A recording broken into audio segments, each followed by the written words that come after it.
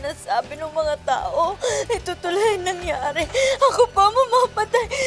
Hindi kita pababayaan. Hindi ka mamamatay. Hindi ka mamamatay. Mahal na mahal kita. Ikaw na bahala kay Kyle.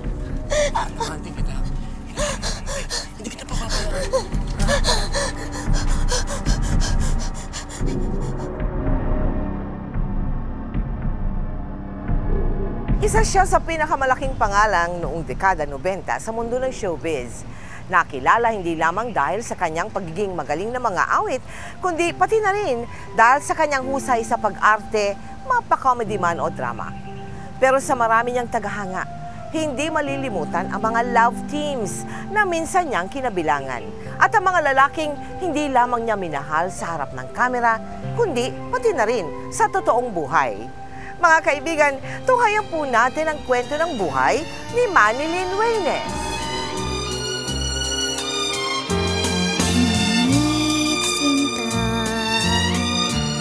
Sakaling paluhain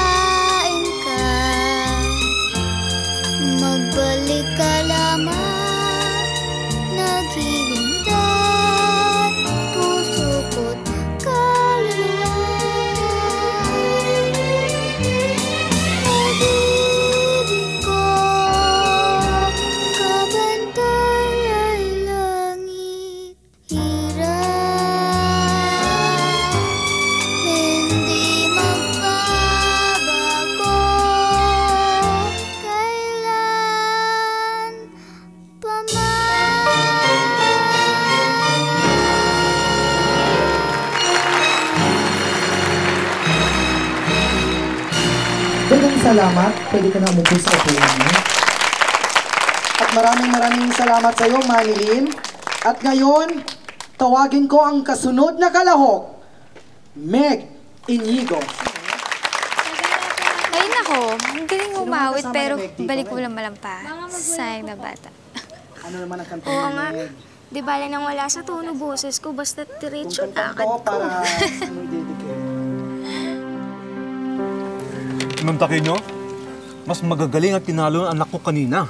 Oo nga, small but terrible. At dinig na dinig ko kung paano niya mapahanga ang mga judges. Lalo nang bumirit ng batang yan. Eh, syempre naman ano, kanino pa ba magmamana ng batang yan? Kanino pa magmamana ng boses niyan kung hindi sa akin? Teka, teka, Ching. Ang pinag-uusapan natin dito yung galing sa pagkanta ng anak ko. Ano nga? Dili lang tingog ni mo.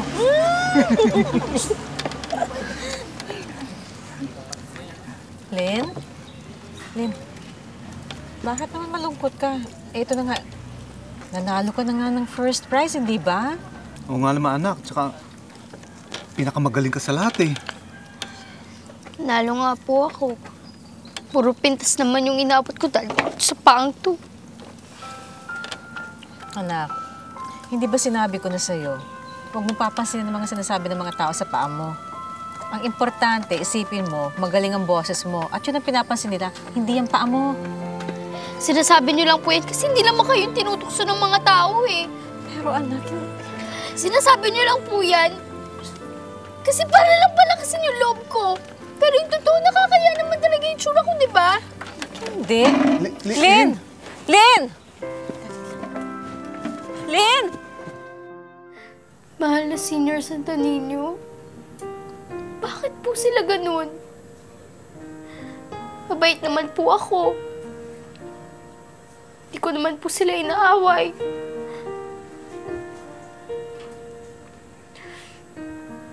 Papasalamat po ako. Kasi,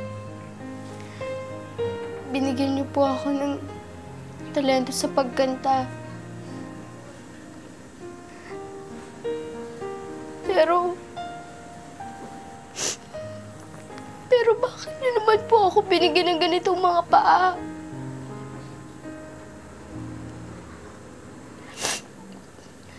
Sana po... Sana po tulungan niyo akong gumaling.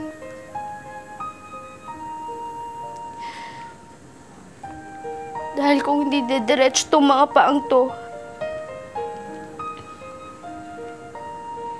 titigil na lang po ako sa pagkanta.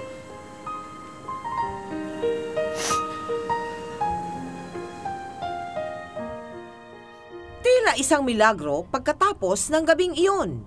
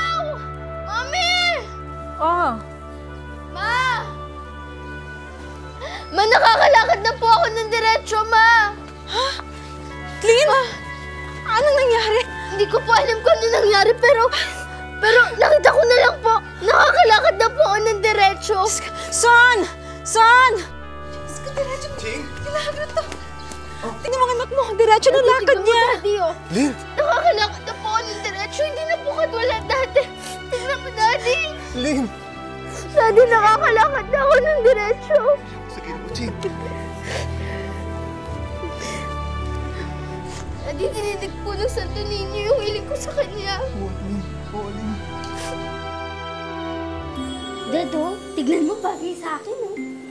Ma, ah, ito naman. Ah, link ko naman to. Maganda ang kulay nito. Iba naman. Yan. Isukat mo.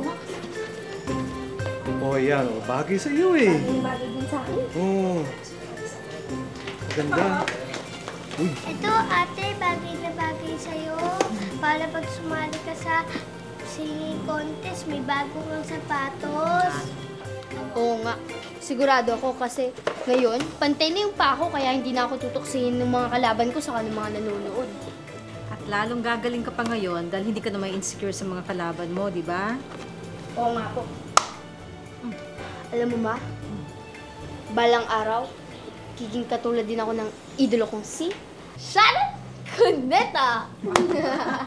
Ate, pag sikat ka na, wag mo kami kakalimutan, ha? Siyempre hindi ko kayo kakalimutan kasi kayo ata yung inspirasyon ko. Pagmula ng araw na yon, parang ulan na bumuhos ang sunod-sunod na biyaya kay Manilin. Mula pagsali-sali niya sa mga amateur singing contest sa Cebu, ipinakilala rin ito ng kaibigan ng kanyang ama kay Mother Lily Monteverde ng Regal Films. Ang pagkakataong ito ang nagsilbing pinto na nagbukas ng napakaraming oportunidad at nagdulot ng malaking pagbabago sa buhay ng batang Cebuana. Nagsimula sa pagkanta-kanta ng theme song ng mga pelikula ng Regal Films hanggang sa binigyan siya ng pagkakataong umarte sa pelikulang Tumama with Love. Di nagtagal ay napabilang din si Manilin sa mga TV shows ng GMA7. Galing! Wow, congrats! Maraming Ang husay-husay mo talaga, oh. Maraming salamat po. Naku, Kuya Germs, chamba lang po yun. Anong tsamba? Kitang-kita ko talagang saksakan ka ng galing. Pero alam mo, meron akong binabalak para sa iyo. Eh. Kung papayag ka, isasama kita sa grupo ng mga taga-Dance Entertainment. Sigurado po kayo, Kuya Germs? Ay, ano ba sinabi ko? Hindi ba maliwanag na isasama kita sa grupo ng mga taga-Dance Entertainment? Maraming maraming salamat po. Okay, salamat kaya po. kumanda ka na, ha? Sigurado yan. Ay, naku. Natuloy si Manilin sa That's Entertainment kung saan yan makikilala ang unang lalaking magpapatibok ng kanyang puso.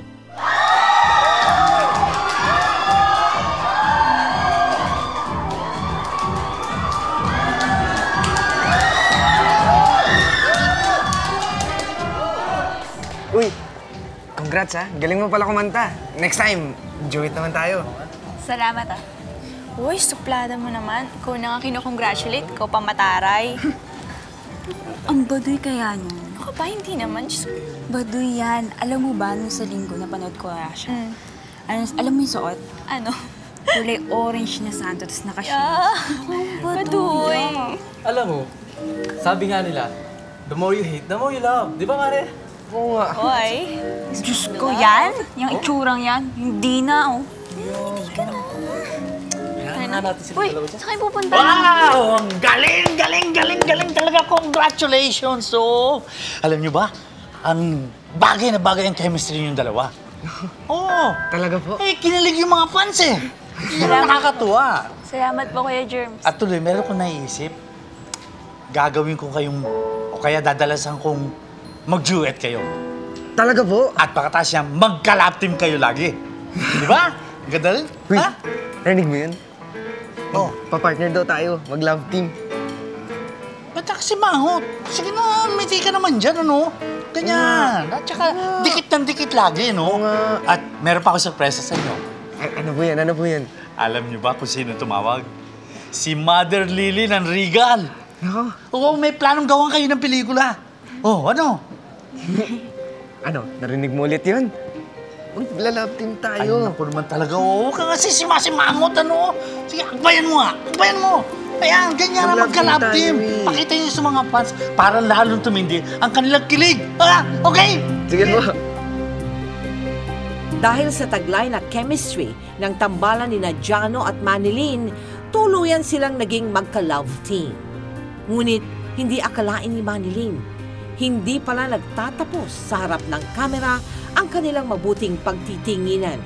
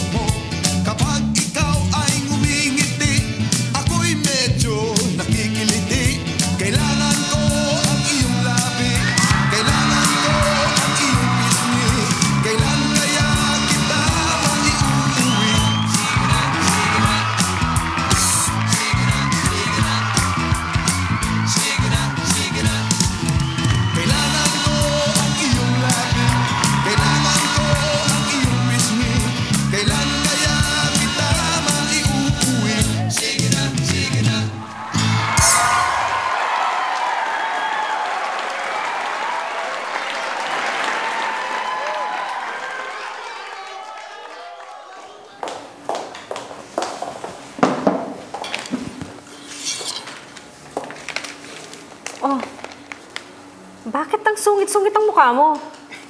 Sino ba naman matutuwa sa lalaki yun? Feeling niya ang gwapo-gwapo niya. Ay, naku. Alam mo, anak, ang taray-taray mo talaga. Dapat baguhin mo siguro yan. Baka naman nagugutom ka lang, ano? Teka muna at ikukuha kitang merienda, ha?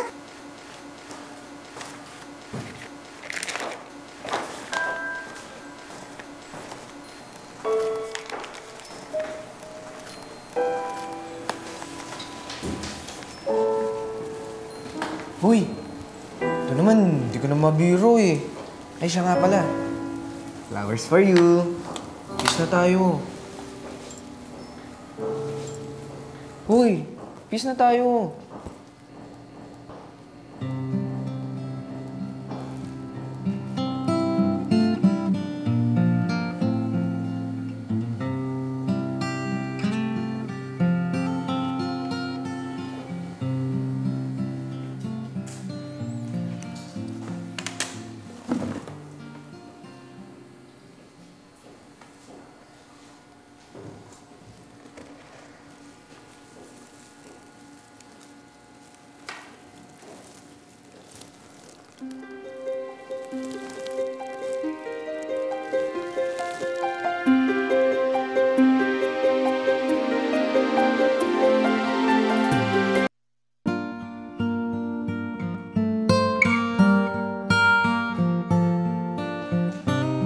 Huli ka!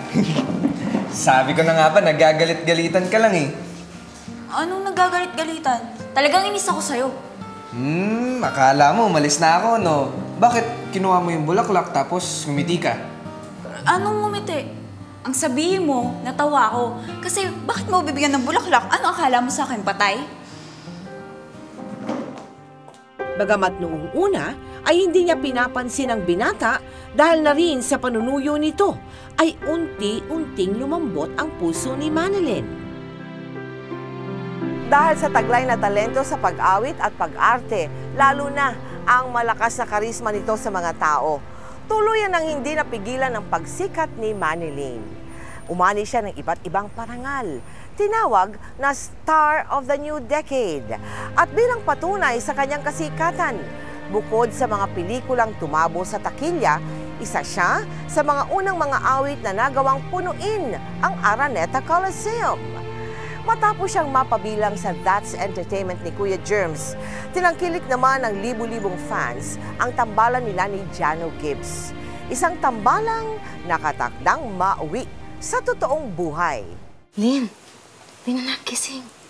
Hmm? Gising, may bisita ka eh. Ha? Sino po? Si Jano, kanina pa nasa sala. Sige na, lapasin mo na. Eh, ano namang ginagawa ng bokong na yan dito? Abay, ano pa? Eh, di man liligaw sa'yo. Hoy, mukha naman mabait yung tao ah. Sige na, harapin mo na, magbihis ka na. Tsaka alam mo, mahirap din masyado kung mataray ah. Baka tumanda kang dalaga. Naku, di bali na lang tumandang dalaga kesa naman. Ay, ay, ay. Huwag ka nga magsalta ng ganyan at hindi bagay sa'yo.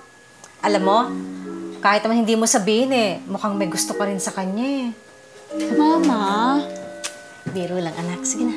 Mag-ready ka na at harapin mo na yung tao, ha? O, sige. Bilisan mo na. Dahil sa kabi-kabilang pelikula at recording projects na kanilang pinagsamahan, nahulog ang loob ni Jano at Manilyn para sa isa't isa. Kaya hindi nagtagal ay sinagot na rin ni Manilyn si Jano. Excuse me, Kuya Jano. Tawag po kayo ni Direk. Bye-bye. Hmm? Uy, naman, blooming na blooming ka. Siguro in love na in love ka dyan, no? Medyo. Bagay, sino ba naman ang hindi may in love dyan? Bukod sa gwapo na, magaling pang kumanta. Pero, kwi daw ka. Anong ibig mo sabihin? Wala lang. Balita ko kasi, bukod sa'yo, may iba pang babaeng dinidate yan.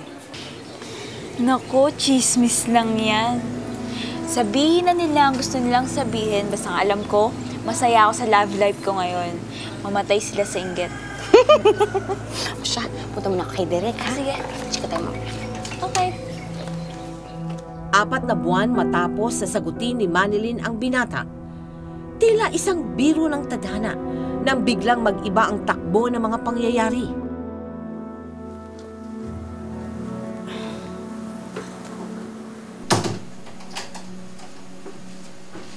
Bakit hindi ka pa natutulog?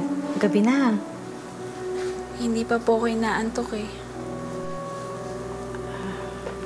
May problema ba, anak? Ang tagal na po hindi dumadalaw ni Jano. Akala ko naman kung ano na. Baka naman busy lang yung tao sa mga commitments niya. Alam mo naman may mga tapings at shooting yon.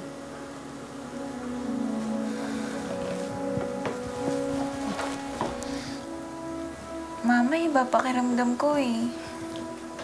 Dati naman, kahit gaano kalayo yung taping niyo kaya shooting niya, nagagawa pa niyang tawagan ako o kaya dalawin ako dito. Hindi ko maintindihan. Pakiramdam ko may nangyayaring hindi ko alam. Anak, maaari ba? Huwag mo munang problemahin yung mga bagay na hindi ka naman sigurado. Ha? Mabuti pa eh, matulog ka na. Maaga pa ang taping mo bukas ah. Tulog ka na. Sige po.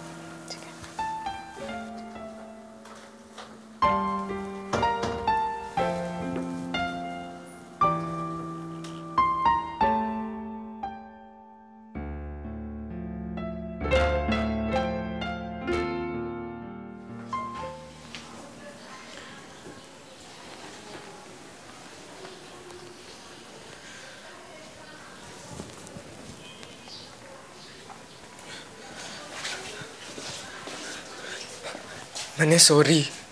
Hindi ko sinasadya. Teka, teka. Ano bang problema? Mani, pasensya ka na. Hindi ko sinasadyang saktan ka.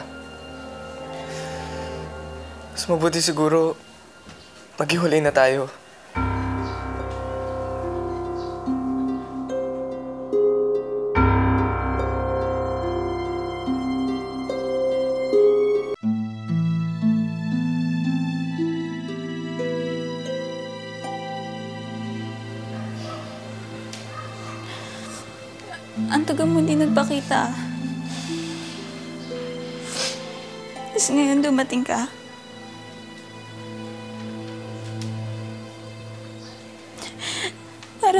Sa akin,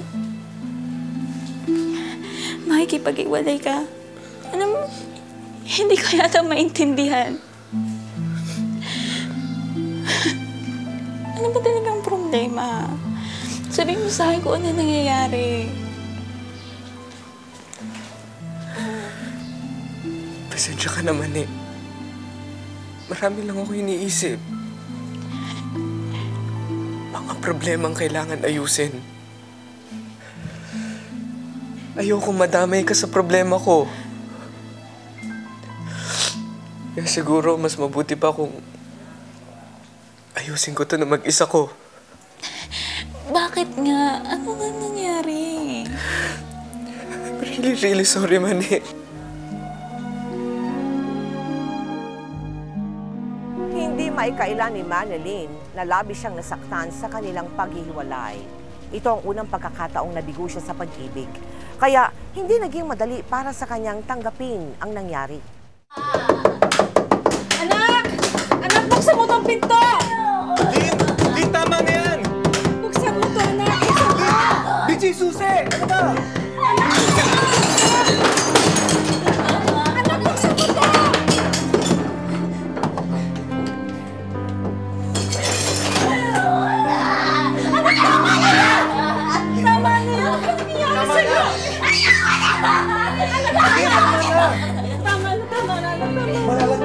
Anak. Malalagpasan mo to. Nandito ko yung mami mo. Ano po ginawa ko masama?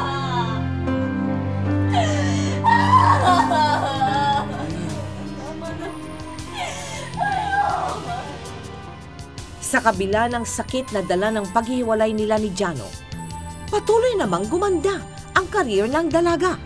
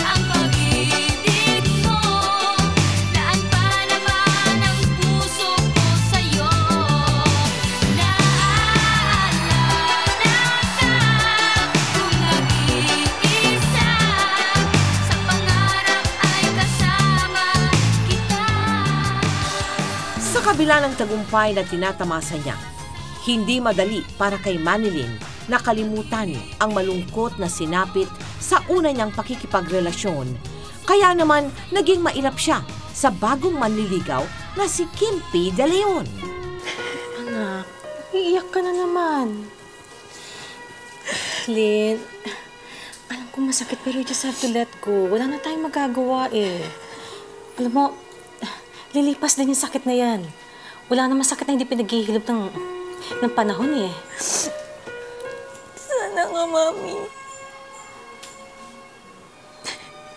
Kasi hanggang ngayon, hindi ko pa rin maintindihan. Kung bakit nangyari sa akin to.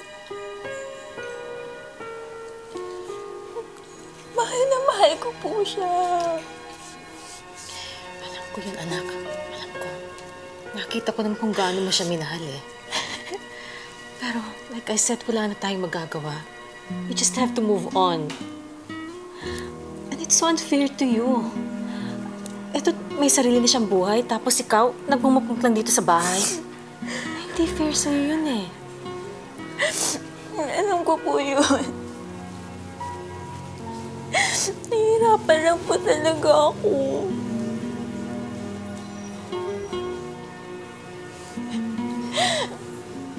Salamat, Mama.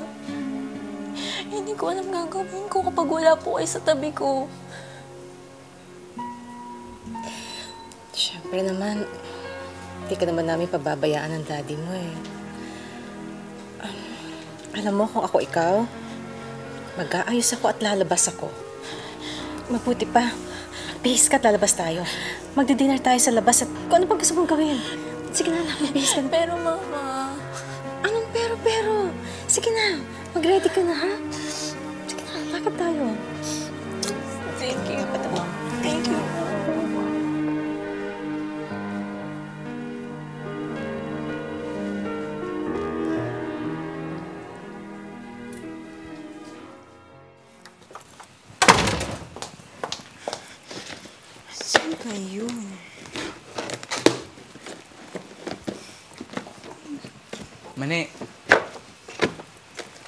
Yata ate. Nahulog kasi. Thank you ah.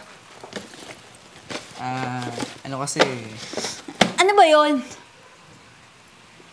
pwede ba kitang ma-invite mag-dinner? Dinner? Bakit? Wala naman. Wala naman pala eh. Di mag-dinner ka mag-isa mo.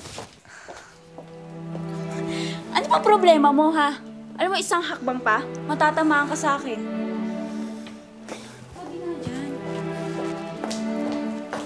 Taray naman ito.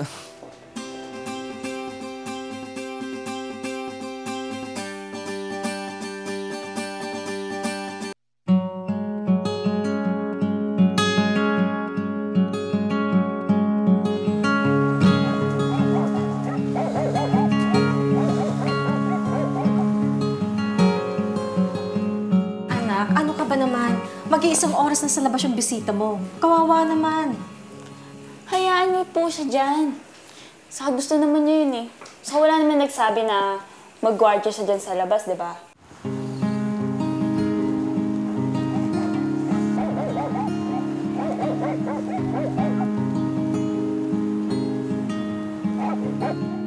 Lane, papasukin na natin. Kawawa lang, baka mapagkamalamag na nakin, bugbugin eh. Kagod konsensya mo yun.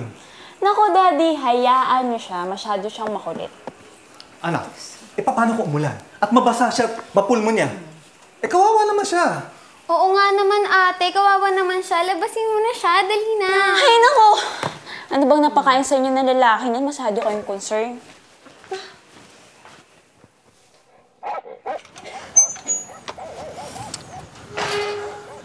Pumasok ka na. Baka makagat ka pa na aso dyan. Thank you. Sabi ko naman, di mo ako matitiis eh. Ano? Wala, sabi ko salamat. Naawa ka rin sa akin.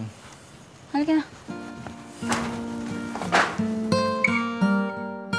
Muling tumibok ang puso ni Manny nang makilala niya si Kimpi. At bagamat sa umpisa ay naging maayos ang kanilang relasyon, nakatakda na namang mangyari ang isang malaking biro ng pagkakataon. Lin, yung si Mama, waka na ni hapon. Dad, busog pa ako eh. Paano sasabihin busog ka? Eh halos hindi ka nag-lunch. Baka kung ano mangyari sa'yo, anak. Ano bang gumugulo sa isip mo?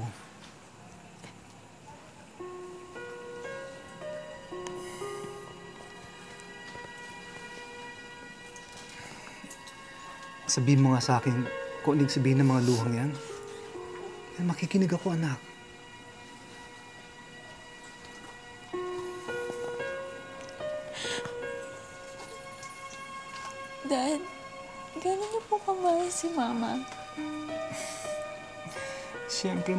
mahal kong mama mo. Higit pa sa buhay ko, anak. Di bali na ako masaktan. Makita ko lang maligaya siya. Sa akin, ayos lang yun. Dahil mahal na mahal ko siya.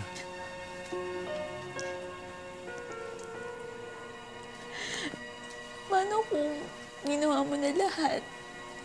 Pero pakiramdam mo, mawawala siya sa'yo. Lynn, kung magbibigay ka, huwag ka maghihintay na may kapalit. Kung magbibigay ka, magbigay ka dahil mahal mo isang tao. Ngayon, kung mawawala ito, siyempre masakit pero kailangan tanggapin. Huwag mo na parasahan ang sarili mo, anak. Natatakot ako, Daddy. Hindi, na, hindi ba nagpapakita sa akin si Kimpy?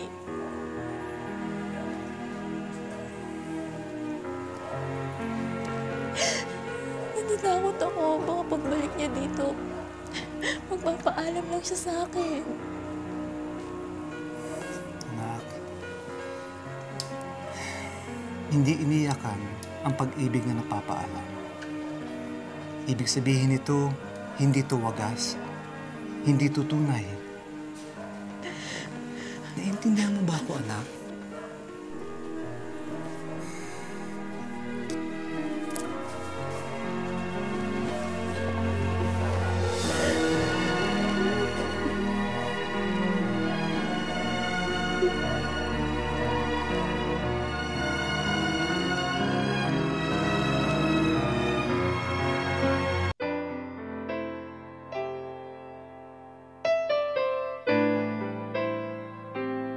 Labis na minahal ni Manilin si Kimpi, kaya kahit matagal itong hindi nagpakita sa kanya, hindi nawala ng loob ang dalaga.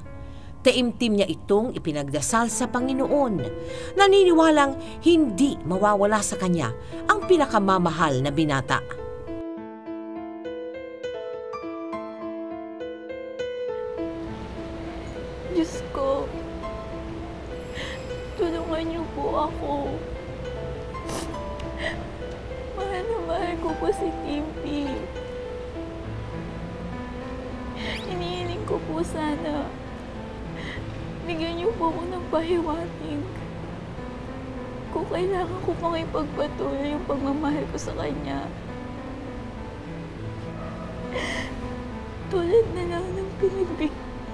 Niya po sa akin. Ang pagkakataon na ipagpatuloy ko pa yung pagkanta ko.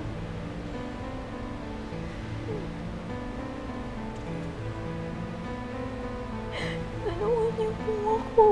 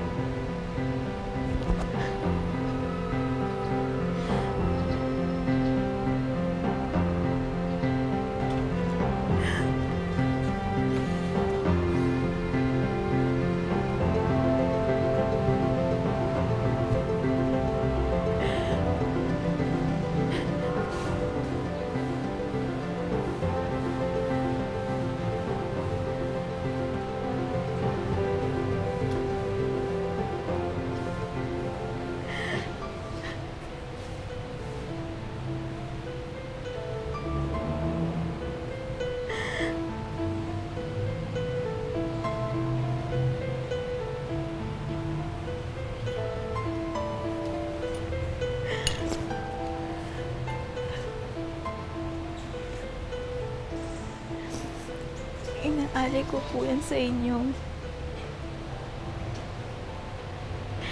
Ito rin po ang pahiwatig na hihilingin ko na sino man lalaki makakapagbigay sa akin ng mga yan.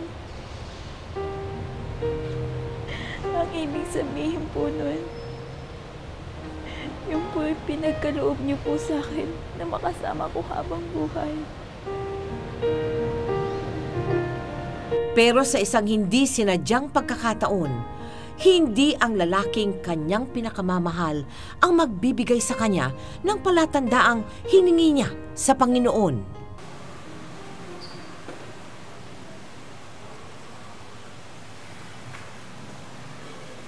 Hi.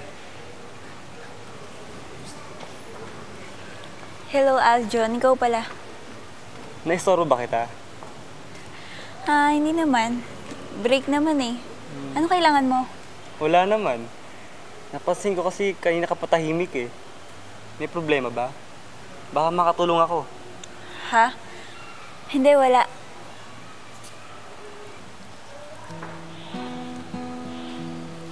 Ano to? I mean, para saan to? Something to comfort you.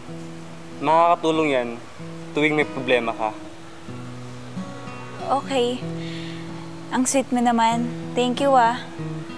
Oh, sige na. Baka kailan na ako ni Derek eh. Sige. Bye. Thank you ulit ah.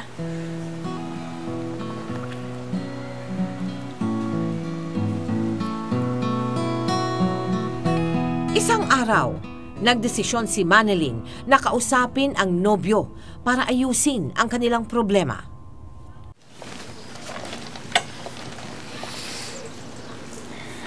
Pwede ba tayo mag-usap? Napadalo ka. Kumain ka na ba? Oo, tapos na ako. Ah, dumaan lang ako dito. Kasi may gusto ko linawin. Tungkol sa nangyayari sa atin ngayon.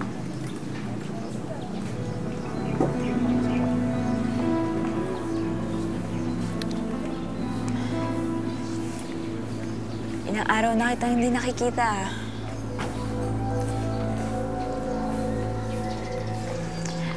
At sa loob ng ilang araw na yun, nadaming nangyari. Marami rin ako na-realize. Sensya na kasi medyo hectic kasi yung schedule ko ngayon.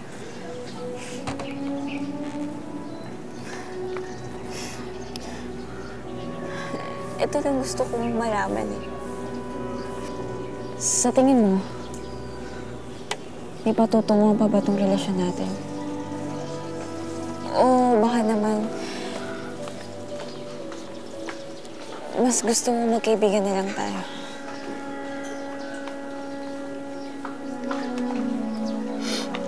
Sorry, man. No. Huwag humingi ng sorry. Minsan talaga, nangyayari yan sa buhay natin na hindi natin inaasahan.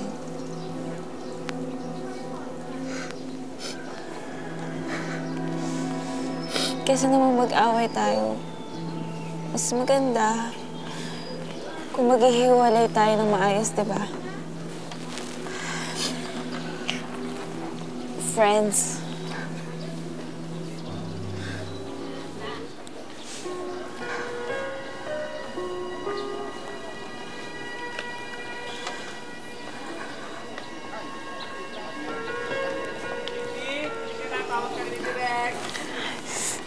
Tawag ka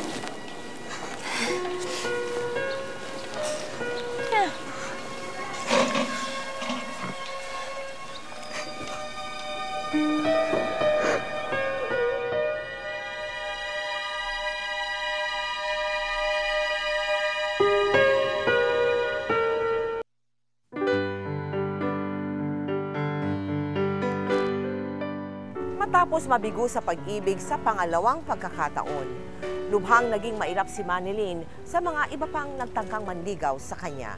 Sa halip, itinuon ng dalaga ang lahat ng oras para lalong alagaan ang kanyang career at pagbutihin pa ang trabaho. At talaga namang walang sawa siyang tinangkilik ng publiko dahil bukod sa sunod-sunod niyang mga pelikula, nabigyan rin siya ng pagkakataong magkaroon ng sariling TV show, ang Manilyn Live.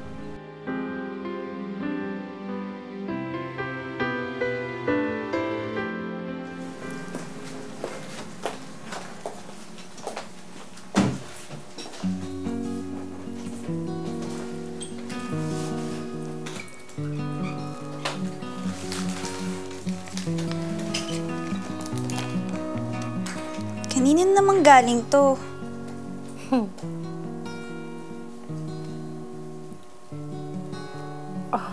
Bakit napatahimik ka? Kanino nga ba galing yung bulaklak na yan? Ewan ko po, eh pangalan ko lang nakalagay.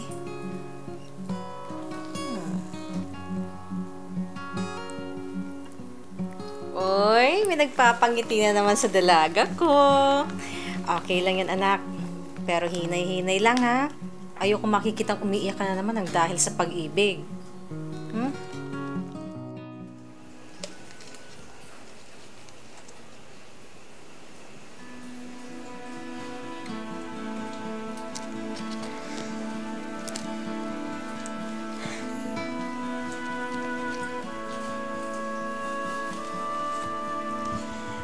Love is patient, love is kind, it is not jealous, It is not pompous. It is not inflated. Ito na nga. Ito na nga yung sign! Ang alin nga? Ito yung hiniling ko. Ay, sa wakas, nahanap ko na din yung man of my dreams. Asus! Paano naman naging man of your dreams ang isang long stem rose, isang maliit na box with an angel?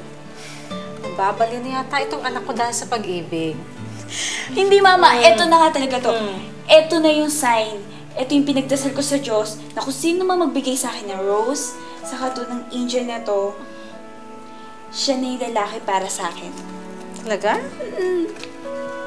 Talaga? Mm. Sige na nga. Ay, sus. Di happy ang baby ko. Ano ba naman to? Parang hindi yata ako sanay ah. Masyadong formal tong date na to.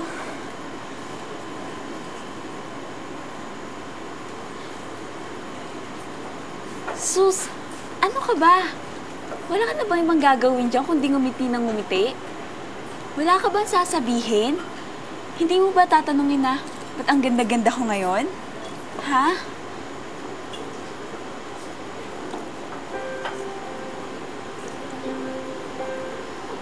I love you.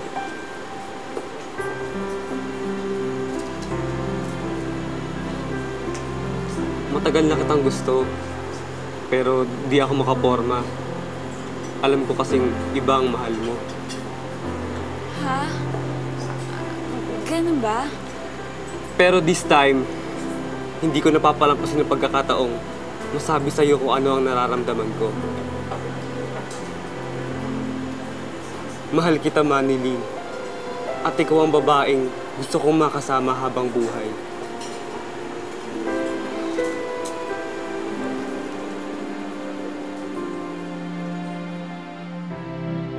Ilang buwan matapos tanggapin ni Manilyn ang pag-ibig ni Aljon, isang napakagandang sorpresa ang natanggap niya mula sa binata. Isang sorpresang magpapabago sa kanyang buhay. Thank you very much for such a wonderful song. Happy birthday, Manilyn. Happy birthday! Thank you. Mukhang feel na feel mo yung love song mo na yun, ha? Hindi naman po. Siya nga pala, Manilyn. At dahil kaarawan mo ngayon, syempre hindi mawawala ang sorpresa. May special someone na gustong bumati sa'yo. Oo nga. Gusto sana niyang bumati ng personal, pero mukhang hindi na siya makakahabol pa. So kinuhanan namin siya ng VTR kaninang hapon kung saan siya nagtitaping. Handa na ba kayo? Roll VTR, please! Hi, Manilyn. Happy birthday. Pasensya ka na dahil hindi kita bababati ng personal. Pero alam mo naman na gagawa at gagawa ako ng paraan. Mapaligaya lang kita. Alam kong marami ka ng hirap na pinagdaanan. Pero huwag kang mag-alala. I'm always here for you. I love you always. Mahal na mahal kita, honey. Happy birthday.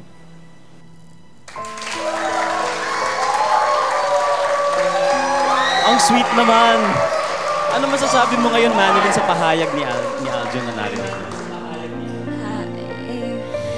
Nako, mukhang naging speechless ang ating birthday celebrant. Lalo ka siguro magugulat dahil nandito ngayon si Aljon live!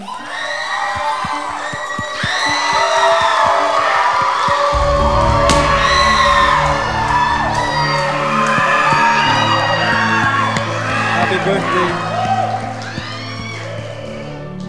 I love you, honey.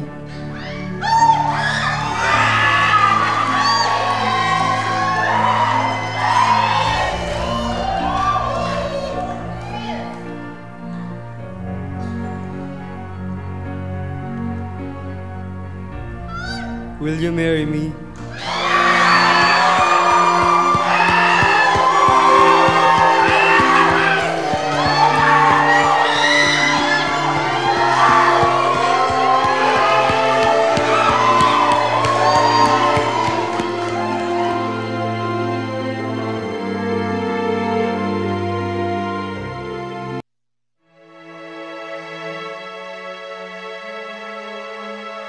1996 nang magdesisyong magsama sina Manilyn at Al John. Sa panahong ito, tuluyan ang tinalikuran ni Manilyn ng showbiz upang lumagay na sa tahimik at asikasuhin ang pamilyang binubuo. Hindi nagtagal, isinilang niya ang kanilang unang anak na si Kyle. At walang kasing saya si Manilyn sa bago niyang papel bilang isang ina. Pero dala na marahil ng pagiging hindi niya aktibo sa showbiz. Sa pagtagal ay tumaba ng husto si Manilyn. Bagay na magdadala sa kanya ng mga panibagong pagsubok. Dami. Mauna na ako, ha? Di bale, uuwi ka agad ako pagkatapos ng trabaho, ha? Ingat. Love you. Bakit? Okay ka lang? Baka gusto mo magpatingin sa doktor?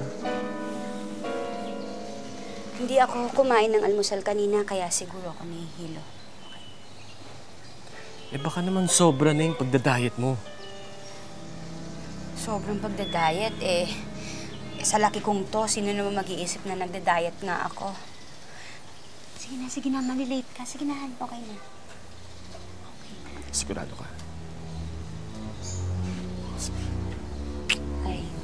Kahit hindi na aktibo sa pag-aartista, hindi nakaligtas si Manilyn sa mapanuring mata ng mga tao.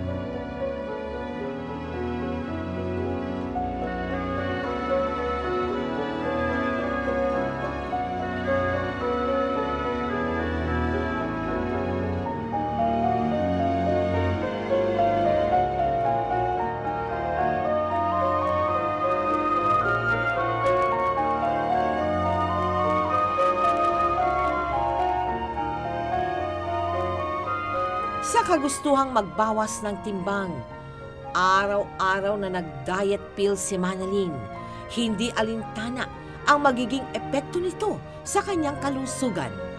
Anxiety disorder ang nangyari sa misis mo. Madalas, naguugat ito kapag ah, mababa ang ah, self-esteem ng isang tao. Sa kaso ng misis mo, dahil sa insecurity dala ng pagiging overweight niya, tapos na-trigger pa ng sobrang pagda-diet. Ano po magagawa ko para sa asawa ko? Basta buo ang suporta niyo sa kanya, wala kayong dapat ikabahala. Don't worry. I'll have her discharged mga 2 or 3 days. Basta mabigyan lang natin siya ng enough time para makapagpahinga.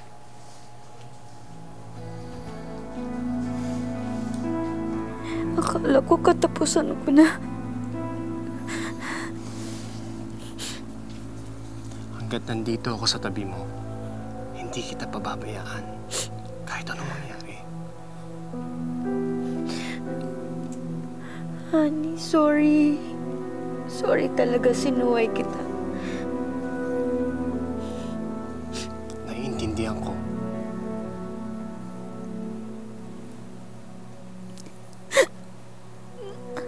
Ang laki-laki ko na kasi. Naisip ko, baka makakita ka ng sexy. Iwanan mo na lang ako.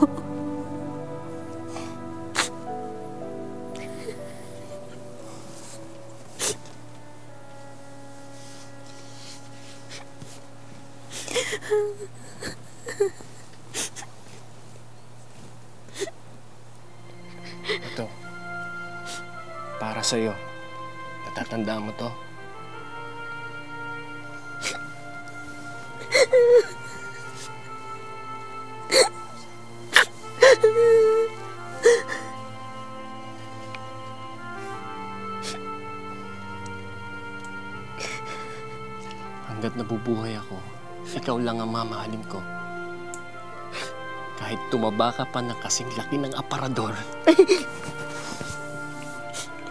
ikaw lang ang mamahalin ko.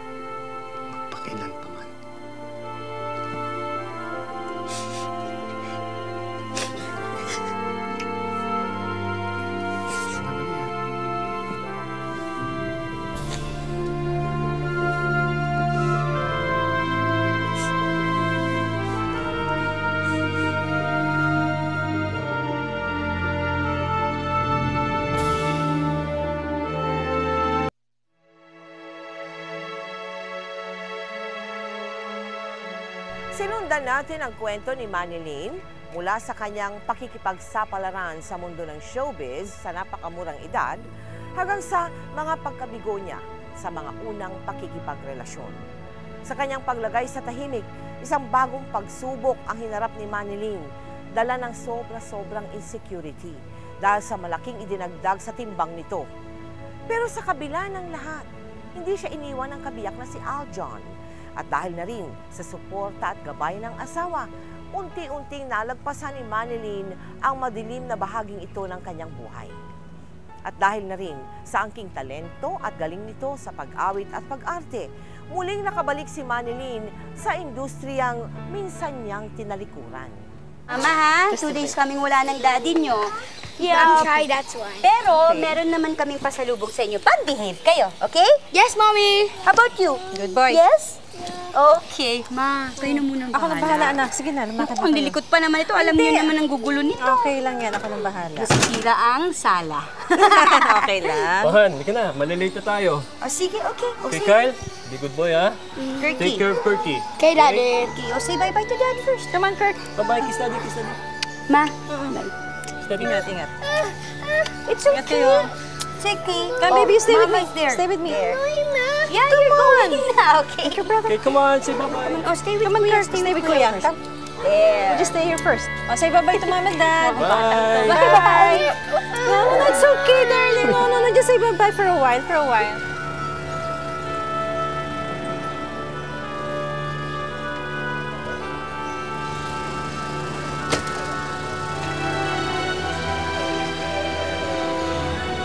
May Manilyn, hindi ko akalain na yung palang pagtaba mo eh naging napakalaking epekto sa buhay mo pala yun. Yes, opo, tita. Bakit? Anong umiiral sa kaisipan mo ba? Siguro, to be able to to um, have work again, Mhm, mhm. parang ganon, dapat medyo mag-trim down, mag-ganon. Kaya lang kasi yung prosesong gusto ko was Gusto mo madali. Ikaw yung umiinom ng kung ano-ano para pumayat, mga ganyan? Nag-try, nag-try, Ah, nag-try po ka rin nun. Nag-try ako. Kasi my parents would tell me na, oh, kung gusto mong mag-work, ganun, eh paano kung ganun yung katawan mo? Mm-hmm. Minsan, nasasaktan ako. Oo, so gusto mo magpapayat? Mm. Ang hindi ko lang alam, tita, na, na um, natitrigger pala ang, ang ah, anxiety disorder kapag Ah. meron kang stress masyado at meron kang mga iniisip and you don't have an outlet. Hindi Oo, mo oo. na ikukwento kahit kanino. Oo. Although ako, kay Aljo na ikukwento ko po eh. So, na-trigger yon nung iyong pagpapapayat sa pamagitan ng pag-inom ng mga pills, no? That's- I mean, ang gaano In- in katagal a ka way. uminom ng gano'n, ng Actually, pills? actually one capsule lang and I felt that way na. Ilang pounds ka nun? I would gain kasi tita sobra-sobra pag nagbubuntes 148 and sa height ko medyo hindi talaga nga namang maganda tingnan. So, paano mo na-overcome yan? Nagdandasal ako, um, talagang kapit na, na please embrace me. Ginaganon ko na, tapos iyak na ako ng iyak. Pinaka-importante pa rin sa lahat, ang pamilya. When you know na may pamilya ka, parang, sige na nga, okay na itong ganitong way. If I would lose, then okay. Pag, pag hindi, I'll try some more. Kamusta naman si Aljon nung ikaw ay dumadaan dyan sa problema niya sa buhay mo? Nung una, hindi rin po niya maintindihan. Hanggang sa nalaman niya na ganun pala, yun, dun niya naintindihan. Na, and then he was, he became very supportive kahit yung panganay ko. And now, um, I can say na, thank you, thank you talaga at ah, gumaling. Ano naman ang ambisyon ninyong mag-asawa ngayon? Gusto po namin na magkaroon ng small business. Ano ang ambisyon mo sa mga anak mo? kung ano po talaga yung gusto nila like like ah, yung panganay kasi mahilig ah, mag-draw parang very artistic and sabi namin sige kung gusto mo talaga yan bakit hindi and then the second one naman ngayon may may signs na siya ng talagang pag-aartista rin dahil sumasayaw kumakanta So, okay lang sabi sa'yo pag gusto niya maging artista? Not sana at an early age. Kasi naranasan ko po yun eh. Alam ko kasi what they will have to go through kung kung maaga silang mag-uumpisa.